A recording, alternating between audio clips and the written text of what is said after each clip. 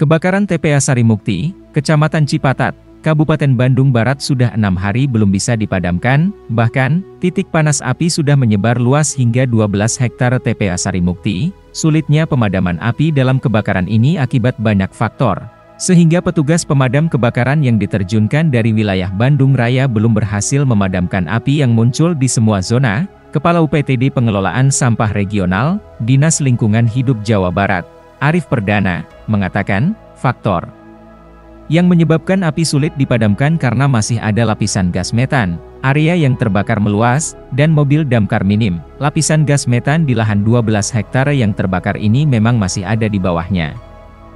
Hal itu membuat api sulit dipadamkan, kata dia, menurutnya, jika melihat kepulan asap berwarna putih dan hitam, artinya, masih ada bara di bawah tumpukan sampah dan ada lapisan gas metan sehingga lapisan gas metannya tidak terlalu tebal tapi mengeluarkan asap putih.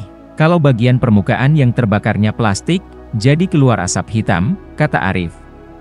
Dengan kondisi itu, kata dia, api masih sulit dipadamkan. Terlebih, mobil damkar yang diturunkan juga hanya 7 unit, idealnya harus ada 20 unit yang harus diterjunkan untuk memadamkan api yang terus menyala. Arif mengatakan, dengan minimnya mobil damkar, proses pemadaman kebakaran di TPA Sarimukti hingga kini masih belum efektif. Sehingga agar api cepat padam perlu dilakukan penanganan secara vertikal dengan cara menerjunkan helikopter waterbombing.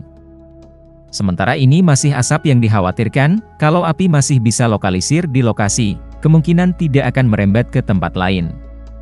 Kalau untuk asap kami sudah menerima keluhan, kesehatan, dari masyarakat, ucapnya, dengan adanya keluhan gangguan kesehatan pihaknya sudah melakukan penanganan dengan mendirikan posko kesehatan di kantor desa Sarimukti dan membagikan masker dan oksigen bagi masyarakat yang terdampak. Jadi bagi masyarakat yang sudah merasakan keluhan kesehatan akibat kepulan asap silakan datang ke kantor desa karena sampai saat ini dampaknya masih ada, ujar Arif.